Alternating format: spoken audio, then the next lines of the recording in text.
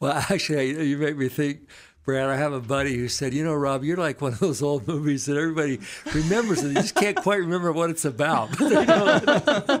so, uh, so tell me about yourself. You're you're an Idaho native. I am. I was uh, fifth generation. I was born in Pocatello. Got it. And then uh, moved to Boise when I was 12, and and then after that, after high school, was gone for parts unknown.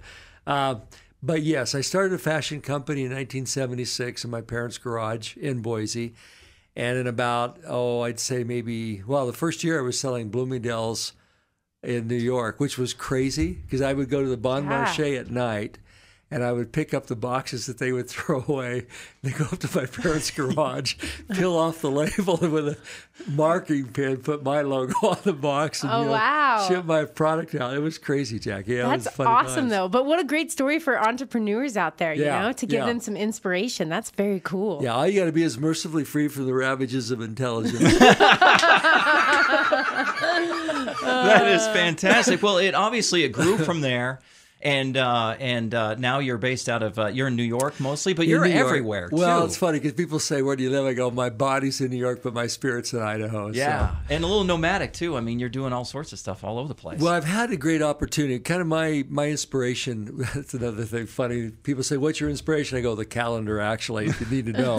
okay. But but the real inspiration I've drawn from has been the opportunity I've had to do expeditions around the world, and I've been in Papua New Guinea and outer Mongolia and canoed down the Amazon headwaters and Wow. and Greenland and you know done things like that, which which I love. That blows the carbon out. But it also I love you know like you two, right? I mean, we live here in Idaho and love the smell of the sage after the rainfall, and so nature really inspires me. all right, That's awesome. All right, Yeah. so Comstock. Let's talk about the event. It, it has some history, and it's it's basically it's back. It is, Brad.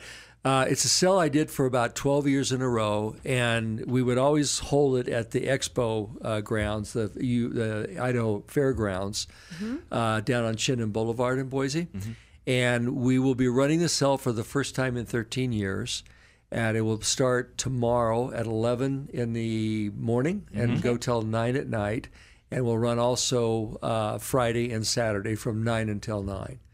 And at the sale, we'll have uh, the Robert Comstock product, which is cashmere sweaters, leather jackets. I'm known mainly for my leather outerwear, but we have beautiful leather and shearling jackets, and these are jackets that are that are typically retail around three thousand dollars, and they'll be at sale for four ninety nine, two ninety nine at the Wow. sale. Great.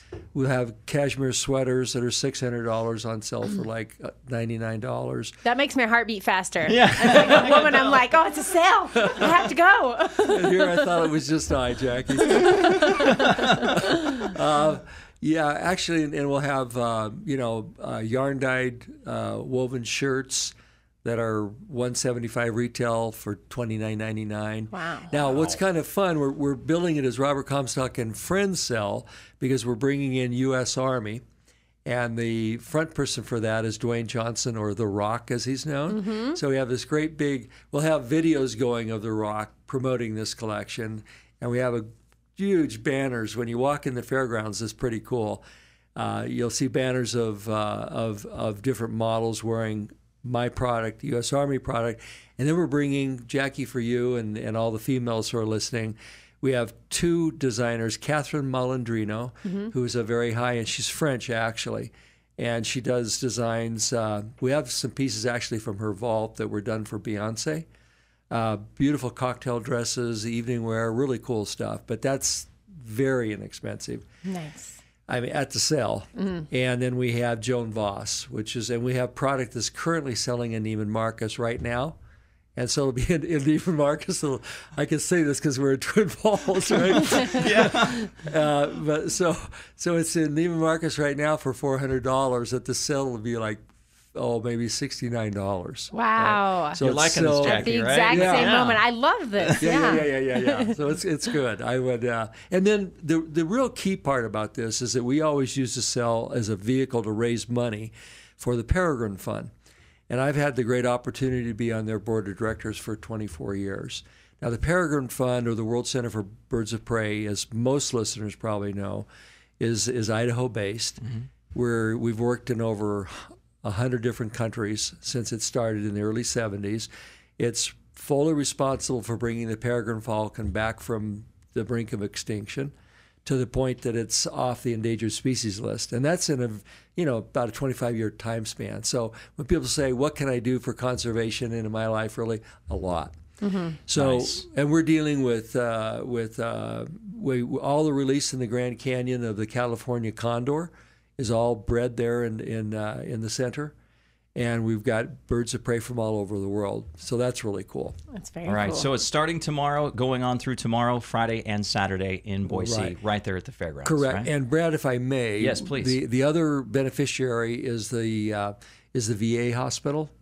And when I the administrator of the hospital is a friend of mine, and I went to them. I said, "Listen, we're bringing U.S. Army in, so it's a natural connection here with you." I said, "Where would you like fundraising to come about, or what what what area of the hospital?"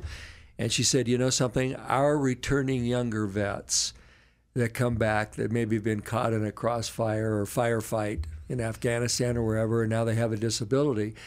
I mean, they lived in Idaho, they rock climbed, they golfed, they fly fished, they mountain biked, and so we can get them rehabilitated, but after that point, they can't go back to their sports. So they lose their identity. And so now, through what's called adaptive sports equipment, uh, we'll be purchasing mono skis and, and adaptive sports equipment for cycling and rock climbing and Oh, wow. How cool is golf, that? To everything to give them their life back. That's awesome. Exactly. Yeah, exactly. that is so cool. Thank you for being with us today, Robert Comstock.